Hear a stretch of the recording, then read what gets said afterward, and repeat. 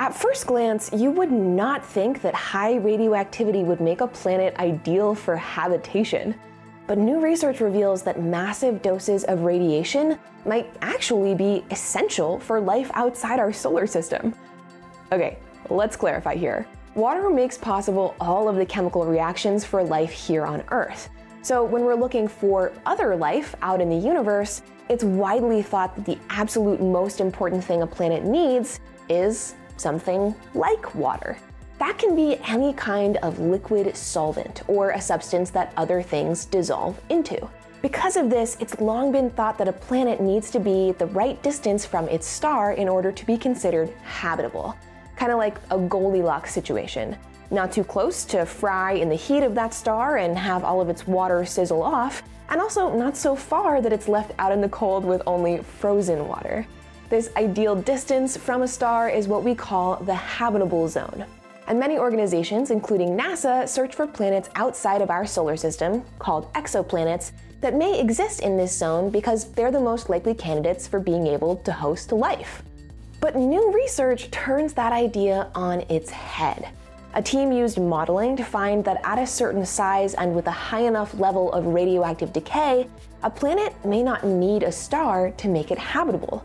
Maybe it's keeping itself warm instead.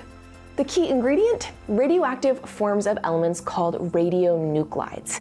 These are isotopes or different kinds of familiar sounding elements like uranium that are radioactive. And while radiation often has a negative connotation for being damaging to living things, and different kinds of radiation can cause damage to varying degrees, one essential thing about radioactive decay is that it releases heat.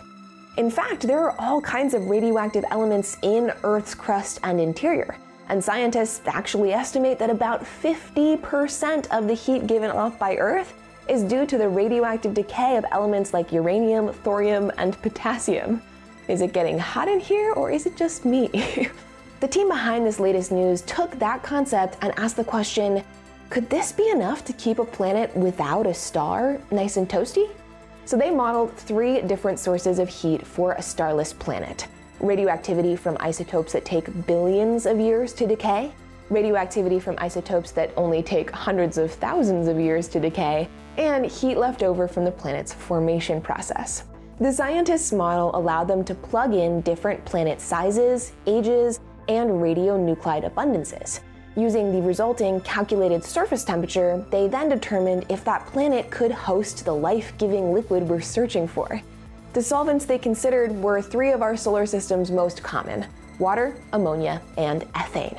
Their results show that warming a planet enough to host water in liquid form without that helpful heat from a star would require about a thousand times more radioactive stuff like uranium and thorium than we have on and inside the Earth. That is a lot of radiation.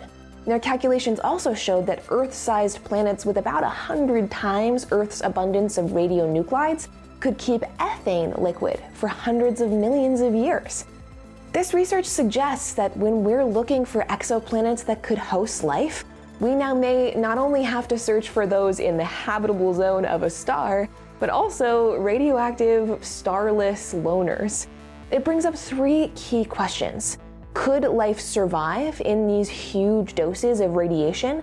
Is it likely that a planet with this amount of radionuclides exists out there? And if it does, could we find it?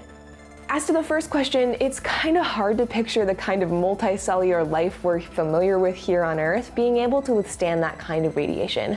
But our world's most extreme microbes may be the perfect example. There's actually a bunch of bacteria that are totally chill with ionizing radiation. And then there's Cryptococcus neoformans, which is a radiotrophic fungus that actually eats radiation. And as for being able to find a planet like this, burning from the inside out with a radioactive glow, only time will tell. But with the latest generation of space telescopes being launched soon, like the James Webb, we'll be able to keep an eye out. All thanks to research like this that told us what we should be looking for in the first place. If you want more on exciting exoplanet finds, then check out this video here, and keep coming back to Seeker for all of your extraterrestrial hypotheses. If you have another astrobiological headline you want us to cover, then let us know down in the comments below. And as always, thanks so much for watching. I'll see you next time.